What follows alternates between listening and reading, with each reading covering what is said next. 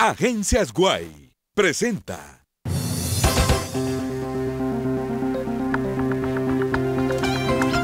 Un tiroteo en el aeropuerto de Fort Lauderdale, Estados Unidos, deja al menos cinco muertos y nueve heridos en lo que parece un ataque en solitario. Les he informado que presenté formalmente mi renuncia.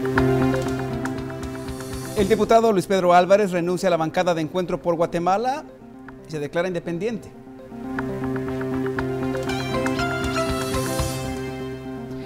Ministerio Público solicita la detención provisional del exministro de Energía y Minas, Eric Archila, como paso previo para dar paso a una solicitud de extradición. Deudas, complicados trámites administrativos y falta de oferentes impiden el abastecimiento total de los hospitales en Guatemala. Sabremos cuáles son las alineaciones tentativas de Municipal y Comunicaciones cuando falta una semana para el inicio del torneo clausura. Además, la quinta etapa del Rally Dakar y los grandes del tenis se disputarán su primer final del año en el abierto de Doha en Qatar. Los espero en solo minutos para los detalles del deporte. Y en Noticias del Mundo, el Congreso de Estados Unidos certifica la elección de Donald Trump como nuevo presidente, mientras crece escándalo por intervención rusa. Bien, sin filtro hablaremos de la relación de los diputados y sus afinidades ideológicas en el Congreso. El hashtag SF de ese encuentro, el análisis a cargo de Estuardo Zapeta y Fernando Espina.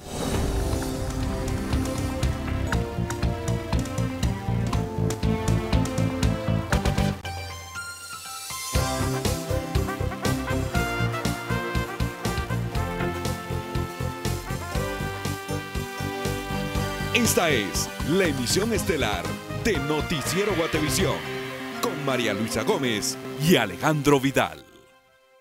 Agencias Guay presentó. Buenas noches, gracias por estar sintonizando esta tercera emisión de Noticiero Guatevisión. Tenemos muchísima información. Alejandro. Hola María Luisa, en este viernes 6 de enero, día de la Epifanía o de los Santos Reyes. Comenzamos. Wendy's. Cuatro productos por 32 quetzales, solo en Wendy's. Algo bueno está pasando. Bueno, y estas son las noticias. Al menos cinco muertos y nueve heridos deja un tiroteo en el Aeropuerto Internacional de Fort Lauderdale, ubicado a 50 kilómetros de Miami. Según las autoridades, el criminal actuó solo y está detenido. En la compra de tus lentes, recibes certificados canjeables en Toto. Ópticas Devlin presenta. Según declaraciones del senador de Florida, el atacante se llama Esteban Santiago y llevaba una identificación militar. Había llegado al aeropuerto en un vuelo procedente de Canadá y portaba un arma en su equipaje. Entró al baño a cargarla y salió a disparar. Un testigo afirmado a la cadena MSNBC que el tirador abrió fuego contra pasajeros, afirmando que el tirador abrió fuego contra pasajeros que estaban esperando a recoger sus maletas. El supuesto responsable ha sido detenido sin disparos y ha quedado a disposición de agentes del Departamento de Investigación Federal. El tiroteo ocurrió en la zona de recogida de equipaje de la Terminal 2 del aeropuerto y provocó instantes de pánico y carreras. Imágenes de televisión han mostrado a los paramédicos transportando a uno de los heridos que iban en camilla sangrando, con el responsable arrestado. Corrió el rumor que había otro tiroteo en el estacionamiento de la Terminal 2, lo que provocó una nueva fase de tensión. El sheriff del condado desmintió esa información.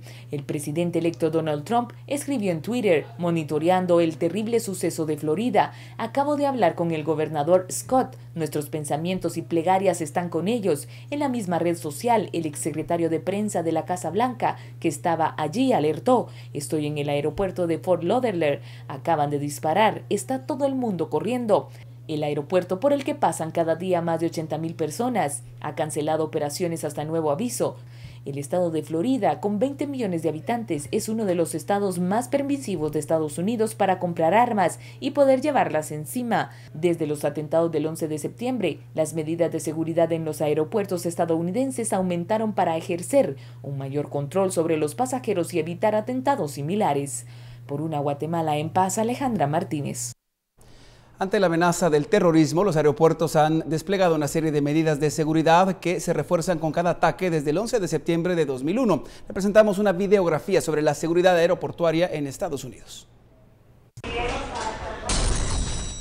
Ante la amenaza de terrorismo, los aeropuertos han desplegado un auténtico arsenal de medidas de seguridad, que se refuerza con cada ataque desde el 11 de septiembre de 2001. Control de la identidad y boletos.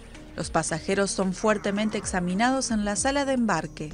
Las cámaras de videovigilancia le permiten a la policía analizar rostros y cualquier comportamiento sospechoso. En algunos aeropuertos se utilizan analizadores de datos biométricos, así como tecnología de reconocimiento facial.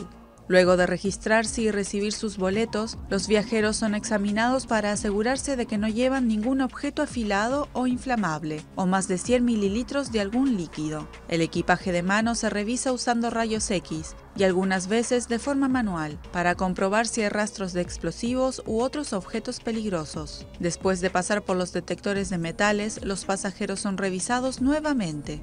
El personal del aeropuerto también está sujeto a controles de seguridad. Para acceder a una zona restringida, los empleados necesitan pases especiales. Los permisos se comprueban regularmente y se le retiran a cualquier sospechoso de tener vínculos con grupos radicales. Guardias de fronteras, policías y soldados realizan patrullajes acompañados de perros. El equipaje despachado también se escanea en busca de rastros químicos. En caso de duda, se realiza una inspección manual. El acceso a las pistas es monitoreado y asegurado. Cada avión que llega es descargado, vaciado y limpiado por los equipos autorizados. Las puertas de acceso a la bodega se pueden sellar. En Europa y Estados Unidos, las reglas son particularmente estrictas. En algunos casos puede llevarse a cabo una búsqueda completa en vuelos provenientes de zonas inestables o de países en los que la seguridad no es tan rigurosa. Bueno, y ante lo ocurrido en el aeropuerto de Fort Lauderdale, también un vuelo comercial en Guatemala fue suspendido. Se trata de Spirit 244 que tenía previsto salir del aeropuerto La Aurora a la 1.30 de la tarde, pero debido al cierre del aeropuerto esto no ocurrió. Será hasta mañana para cuando se reprograme el vuelo con destino a Miami, Florida.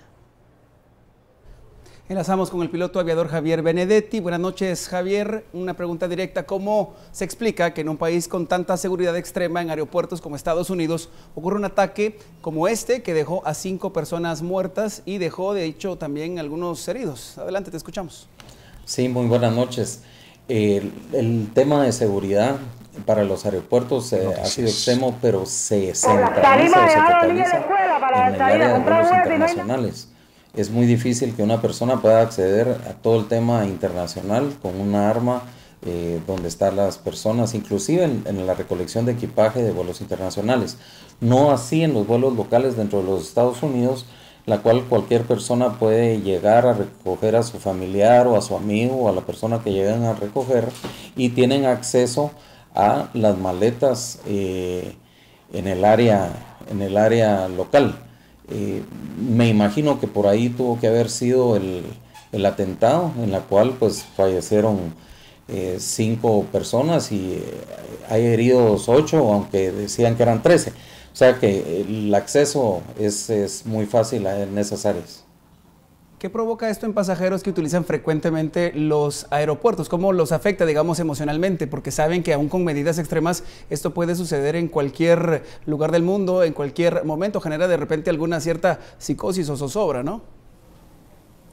Bueno, uno de los aspectos importantes en este tipo de eventos y principalmente por ser uno de los aeropuertos más importantes en el estado de la Florida, es el hecho, el pánico que corre inclusive con la gente que no está viajando, sino que está viéndolo desde el televisor en su casa y si hay un, un efecto, eh, efecto psicológico en la cual las personas pues eh, quieren o no utilizar ese aeropuerto o lo sienten vulnerable, pero verdaderamente eh, eso es algo que irá pasando. Han sucedido muchas cosas en muchos aeropuertos, inclusive atentados con bombas en el interior de los aeropuertos y eso llevará un tiempo.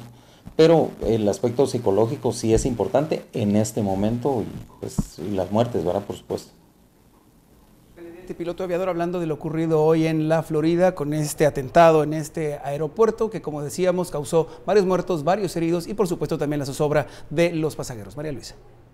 Y vamos a continuar en el tema porque el comisionado de puertos y aeropuertos explicó cómo funciona el protocolo cuando suceden estos hechos criminales. Este suceso no solo afectó al aeropuerto en Fort Lauderdale, como ya le informamos, en el país se canceló un vuelo que se dirigía a ese aeropuerto. El protocolo de seguridad general se había cumplido hasta ese momento. Eh, cosas como estas pueden suceder en cualquier parte del mundo, en cualquier momento, eh, a pesar de que se haya cumplido con todos los protocolos de seguridad. Eh, eso lo que hace es que entonces el sistema tiene que estar preparado para la reacción. Si es una emergencia, sucede esto, ¿qué sucede? ¿Cómo se opera? ¿Se clausura el aeropuerto? ¿Se evacúa el aeropuerto? ¿Se clausura el área? ¿Cómo entra el sistema de seguridad a operar? Porque dentro de los aeropuertos normalmente no es que esté la Policía Nacional del lugar, sino que está la seguridad aeroportuaria, en el caso de Estados Unidos TSA, que es la, seguridad aeroportuaria. Entonces lo que está cabalmente ahí pues también es el protocolo, cómo funciona cuando sucede una cosa de estas.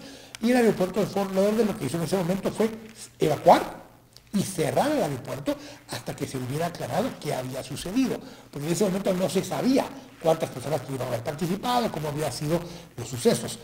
Eso obviamente tiene repercusiones en cadena.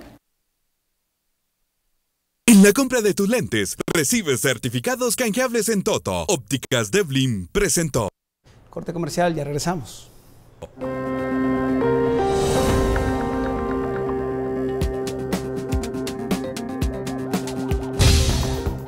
La bancada parlamentaria de Encuentro por Guatemala sufre pérdida. Tenemos los detalles al volver.